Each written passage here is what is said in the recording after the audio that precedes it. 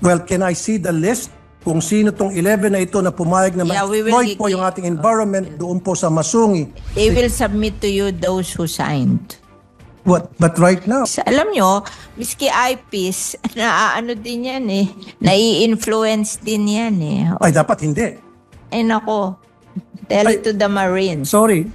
Protection po ito ng mga IPs kasi kayo na po mismo nagsa Mr. Pres Madam President and uh, your good sponsor. Kayo po mismo nagsabi kanina eh alam niyo naman yung IPs madaling ma-influence yan eh. Kaya nga po we have this. Kaya Madam President Power dyan, Madam President DNR. Mr. DN, uh, Pambi. Kaya nga po we have kaya nga po we have this. Can we allow her please to continue? And you will give you all the time to ask a No, question. Madam President, Yes. ako munang magsalita kasi I'm explaining eh. Inagaw niyo po yung time ko eh. I was the one explaining and my witness is the Uh, minority we leader. suspend session for a minute.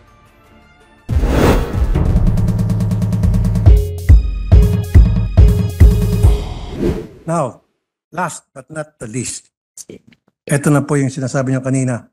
Masungi Conservation Area, Ancestral Domain.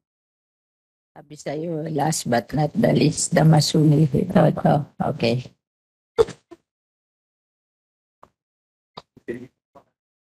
Bakit po pinayagan ang isang wind farm na magtayo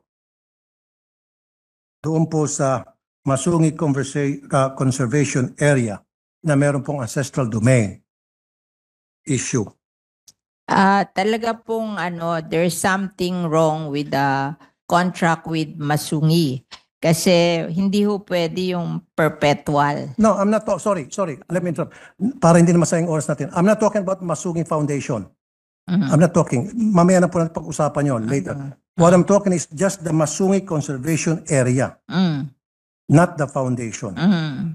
So, despite the fact na ito po ay declared as ancestral domain at meron pong uh, nagkiklaim ng mga IPs at uh, under uh, proclamation number uh, 1636, it was declared as a, a sanctuary, wildlife sanctuary and game, uh, game preserve at hindi po dapat pwedeng panghimasukan ng anumang commercial activities, Mm. explorations, exploitations, etc.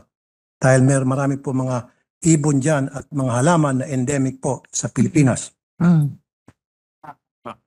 in 2020, a proposal to uh, measure the potential of wind energy was given to us by the Family Association. Yes, measure them.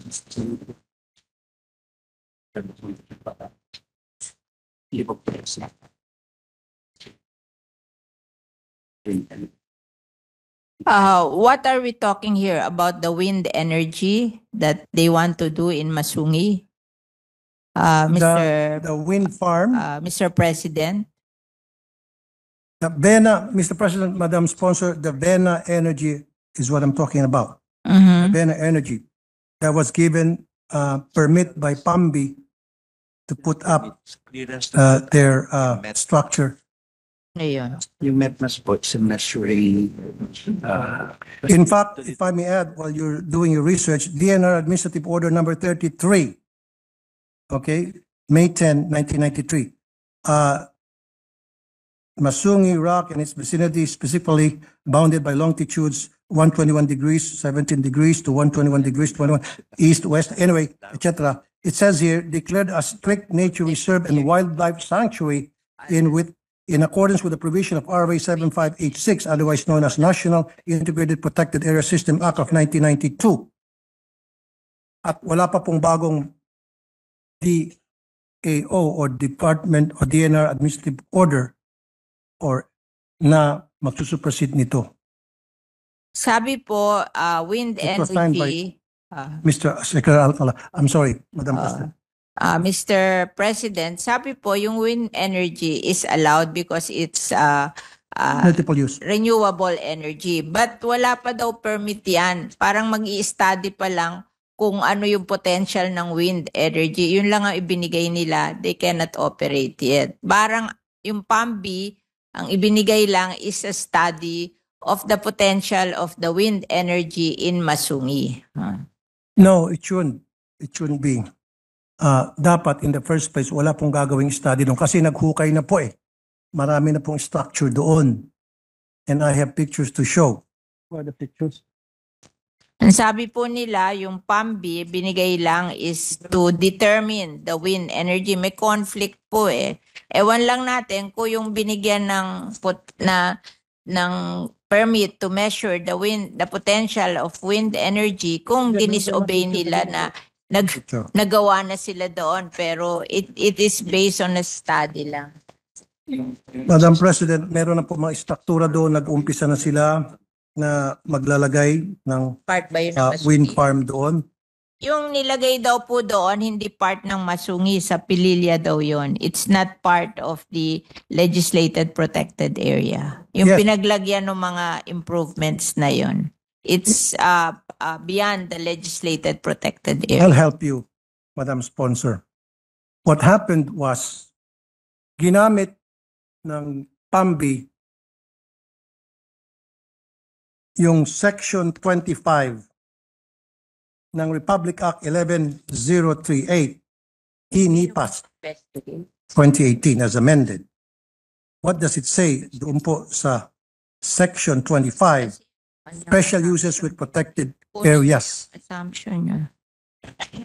So nagkaroon po because of PAMBI, binigyan po yung PAMBI sa batas na ito, nagkaroon ng amendment na para ideklara kahit isa- isang protected area na into multi-use. And this has to be amended. Kasi it runs contrary to the spirit of the law protecting Uh, they want to study and investigate what happened because of your contention. Can you give us yung study nyo para uh, a copy lang of the study so they can investigate kung there was a, a violation of the law. the, the area kasi is a strict protected zone, uh, Mr. President, Madam Sponsor. And having said that, DNR should know better na if it's a strictly protected zone, hindi dapat nila panghimasukan yan. Eh, nagagalit siya kasi Hindi dapat nila inisip kahit na renewable energy na manghimasok yan. I don't have any problem with uh, renewable energy Parang na para eh, mag-proliferate sa bansa natin because me being the chairman of the Committee on Energy, payag po ako sa renewable energy pero dapat ilagay natin sa lugar. Huwag po doon sa mga protected area. Especially po na meron pong mga ancestral domain issue na dahil misplaced po yung mga IPs natin na walang mga boses at walang mga kalaban-laban, pinagsisipalang pa, pinapalayas doon sa kanilang ancestral domain. Dahil sa ngalan ng development, aka salapi. uh, uh, the assem the the uh, point of view of the DNR is in every protected area there is a place for strict implementation of the law. Is is they call it the strict protection zone. Tapos there are also areas in in the in the protected area, yung tawag nila multi-purpose, multi-use zone. Yes. So, hindi naman nila pinayagan do sa strict protection zone. Doon lang sa multi-use zone. Exactly. Ngayon, kung may other complaints na pinaalis yung mga tao, ganun-ganon, then let's have the complaint and we will investigate. Exactly. Exactly. Thank you very much for that answer, Madam Sponsor. That's exactly what I want you to say. Mhm. Now, uh, sa ang nangyari kasi nagkaroon po ng multi-use zone classify po ng DNR using Section 25 of the uh, e-NIPAS uh, law as amended 2018 from Republic Act 7586 of the NIPAS Act of 1992. Now, yan po, hindi ko po, hindi ko na pwedeng contest yan dahil batas po yan. Okay? I will not contest. However, nakasaad dito Yeah, para ang PAMBI ay payagan na mag-classify na multi-use sa isang strictly protected area, kailangan, ito na po yung nyo kanina, Madam Sponsor, members of the PAMBI board, which consists of DNR Regional Director, Governor, Senator of the Republic of the Philippines who is duly registered resident of the province, um,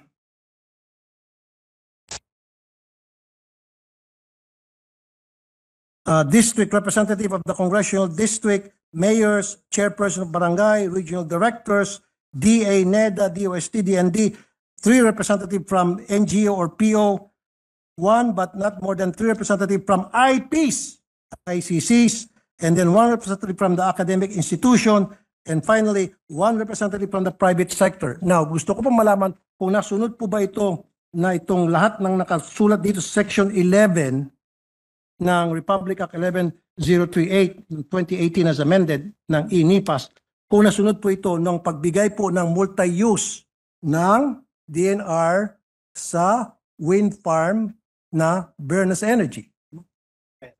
Bena Energy. Kung nasunod po. Nandyan Itong daw 11 po members- lahat yan nung magbigay ng permit. Well, can I see the list? Kung sino tong 11 na ito na pumayag na Yeah, we will ma-exploit po yung in. ating environment doon po sa Masungi. Sa amin, yun nga mga local, mahilig. I need the list of those people na pumayag na i-exploit natin itong tinatawag nating Masungi uh, Conservation Area na which is declared as a strictly protected area. So itong 11 members na nag-sign, members of the board sa PAMBI allowing the exploitation of Masungi, I need a list of those people and their signatures. Ah, And very important to me is yung pong IPs. Meron po bang pumirma na IPs? Meron ba? Meron. I need a list and I need the They will submit to you those who signed. what but right now Kasi pero ho yan, I'm warning you that yan, majority wins. 'Di ba? Kahit na hindi pumirman lahat, kung majority pumirma, panalo yun. Oh. I know. Pero Oo. ang selection process ninyo kailangan meron pong IPs. Ayun, on. pinafollow. Kaya nga paano po sinelect yung IPs? May I know Oh. from the experts? Baka hindi naman pumirma yung eyepiece. Alam nyo, miski eyepiece, naaano din yan eh. Nai-influence din yan eh. Ay dapat hindi. Eh nako, tell Ay. it to the Marines. Sorry. Tell it to the Marines. Dapat hindi po. Kasi Eh, kawawa na ako, po yung mga IPs. Sa eh, aking kulang nga- legislated protected area, Yeah, yeah. nangyayari yan. Yung mga barangay na i-influence eh. kawawa naman po yung mga IPs, eh, kulang nga po sa pinag-aralan, kulang po sa kaalaman, and then exploit po natin because we're s- saying na eh, madali silang ma-influensyahan. Dapat we try to help them to make sure that they will not be easily influenced so that gagawin po nila kung anong tama para sa kanilang proteksyon. Oo nga, ang, oh, hindi siya maniwala na yung sin- pumirma. Kaya huwag mo na sabihin sa akin, ako alam kong pwede yun, pero siya ayaw niya. Kaya isigay niyo na lang kung sino yung pumirma. Diba? I'll help you. Would you mind if I'll help you? Yeah. You're very welcome, Mr. Okay. President. Kasi bago po mapili ang isa o dalawa o tatlong IPs na sumama po sa PAMBI, Mm. sa selection process. Number one, dumadaan yan sa Indigenous Political Structure or IPS. Okay? Ano po yun? It consists of tribal leaders that have exclusive right na para magpadala po ng representative nila kung hindi sila mismo ang sumama doon sa PAMBI. Number one. Number two, dapat dumadaan po sa tinatawag na FPIC, Free and Prior Informed Consent process ito na ipapakita na itong IPs were not coerced and were not influenced, just like what the good sponsor said na, na madaling na influence. Kaya nga po pumapasok itong proseso to make sure na hindi po sila na-influence, hindi po sila na-coerce. Ito po yung FPIC. And finally, evidence to 1 and 2 I mentioned, dapat may certification precondition or CP documents from NCIP pirmado na nagkaroon ng tamang proseso at pumayag ang IPs community. In the absence of these three, then invalid po yung pag-recruit nyo ng IPs para maging member ng PAMBIS board.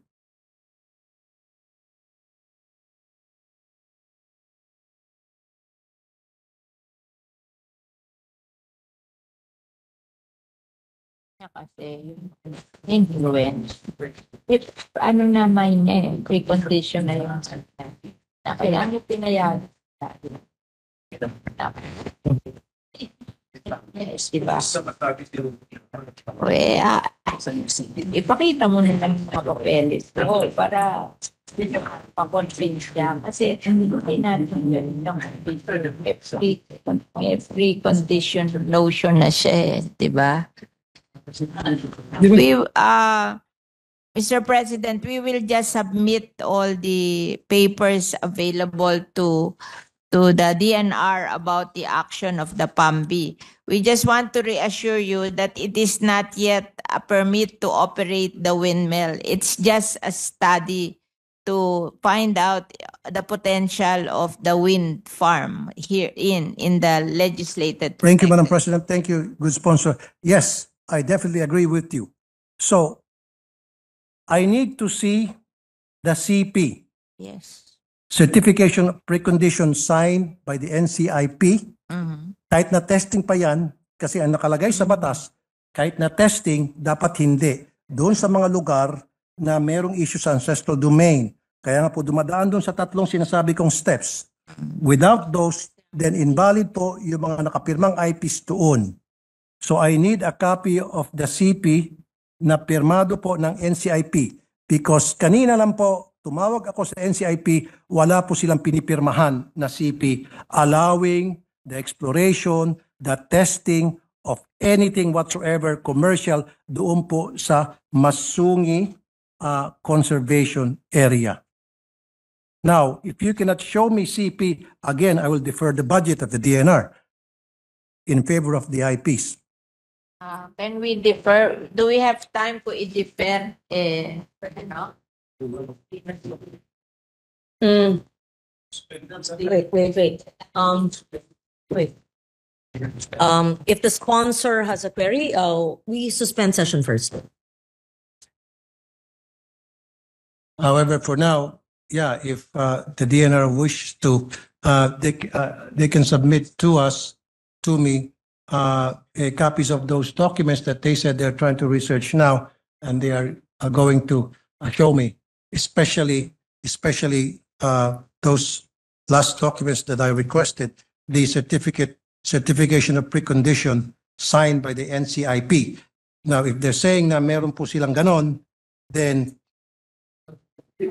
I need the- the person that will show me the CP na sign ng NCIP, put that person under oath na yan ay valid documents at kapag napatunayan na hindi valid yan, eh siya po'y makukulong, makakasuhan dahil I just spoke to the NCIP people, main office and regional offices, wala po silang ini-issue CP. Now, kung sinasabi, otherwise sinasabi nung uh, DNR na meron, then let's see.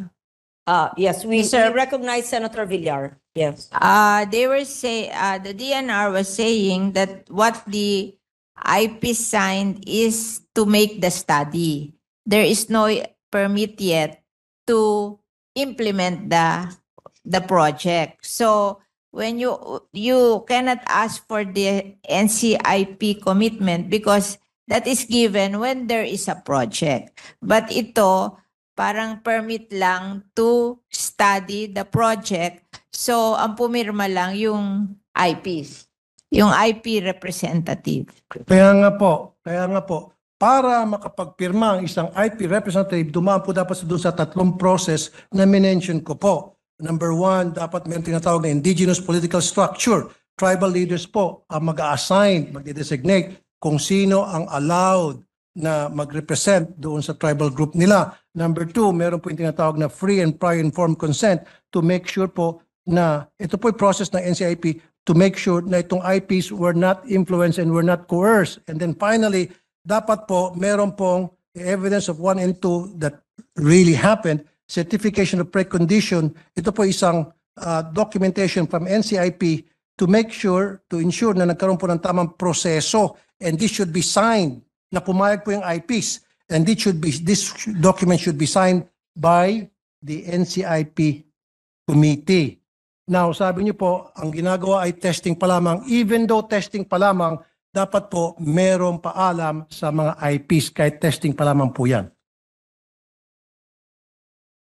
Um, Mr. President, it is not the power of the DNR uh, to appoint the IPs or to see to it that the right IPs are represented in the PAMBI. It's the PAMBI who will decide if they will accept the representation of the IPs. So, hindi po natin marirequire ang DNR doon kasi may, may, may right ang PAMBI to choose kung sino ang magiging member ng PAMBIS. It's according to the uh, the law. Mr. President, Madam President, and, and uh, the good sponsor, yes, kasi once na ginamit niyo po yung IPs, meron pong batas ang IPs sa pamagitan ng tribal group nila. You cannot just go to the IPs and approach them and say, hey, you, I want you to be... No, one no, of no. Kailangan po may proseso So, talaga. ang This- sinasabi ng. DNR, hindi sila magpo-provide ng information na yon, kundi yung PAMBI. Kasi sila yung nag-approve na kaya yun nga ang po, member when- ng when- PAMBI. exactly. So, we ca- the DNR cannot produce that document. It's the PAMBI yes, of Madam President. the The uh, PAMBI, Masungi. yes, the PAMBI are the ones, base po dun sa batas na binanggit ko kanina, Kaso ang member ng PAMBI, hindi naman lang DNR. Marami. Oo, may Yeah, local but since it's- government. There's an may issue, NGO. Madam President, uh, good sponsor, since meron pong issue ng ancestral domain at ang IPs po dapat dito ay gin- ginagalang, nirespeto, recognize. So, so kailangan po talaga kasama sila pa doon po sa pagbuo nitong PAMBI Board of Directors para doon sa isang project. Opo. Okay. Now, sabi ko rito, sabi sa batas ng IPs, dapat meron pong tinatawag na selection process at dumadaan po yan sa IPS. Tribal leaders ang pumipili kung sino sa kanilang uh, miyembro ang pwede, binibigyan ng authority ang pwedeng mag-witness o maging member ng PAMBI. Ah, Hindi po PAMBI, pwedeng basta-basta na lang po natin Hindi. ituturo kung sino diyan sa sa ah, protection po ito ng mga IPs kasi kayo na po mismo nagsa Mr. Pres Madam President and uh, your good sponsor kayo po mismo nagsabi kanina eh alam niyo naman yung IPs madaling ma-influence yan eh kaya nga po we have this kaya PAMBI, Madam President power dyan, Madam President, ang DNR. Mr. DN, ah, PAMBI kaya nga po we have kaya nga po we have this Suspended, um, uh, may, maybe just request, uh, both, of course, uh, Your Honor, the, the sponsor, uh, can we allow her please to continue? And you will give you all the time to ask a no, question. Madam President Yes. ako munang magsalita kasi I'm explaining eh tinagaw niyo po yung time ko eh I was the one explaining and my witness is the Uh, minority We leader suspend session for a minute.